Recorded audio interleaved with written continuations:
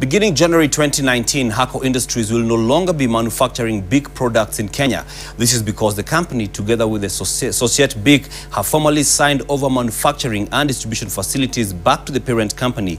This agreement will affect distribution of stationery, lighters and shavers in East Africa, functions that will now be fully under BIC.